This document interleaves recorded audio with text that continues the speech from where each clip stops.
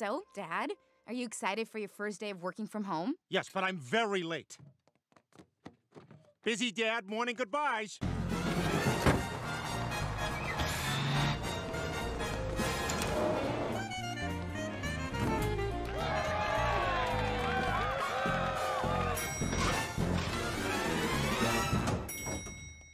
Forgot my phone.